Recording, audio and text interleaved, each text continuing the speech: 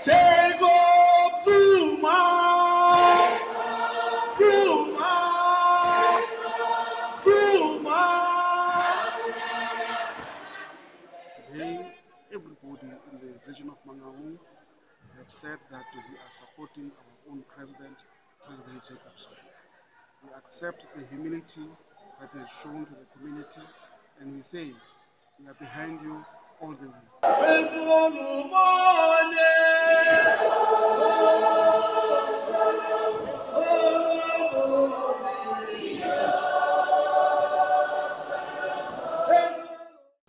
In today's meeting, the general feeling of the membership of the ANC in all branches in the province is that we support the leadership of the ANC, we support President Zuma to continue to be president of the ANC up until the next conference and up until the next coming national elections.